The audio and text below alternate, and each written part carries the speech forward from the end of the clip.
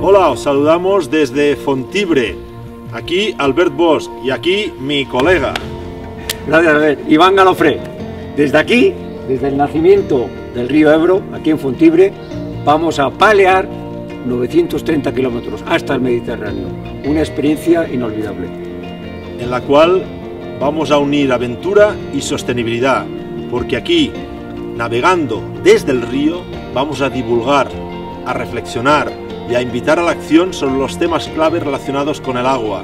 Estos son la- el uso y la gestión, la contaminación, la salud, la biodiversidad, la relación entre territorios y sobre todo los grandes retos como es el cambio climático. Os invitamos a seguirnos en el proyecto.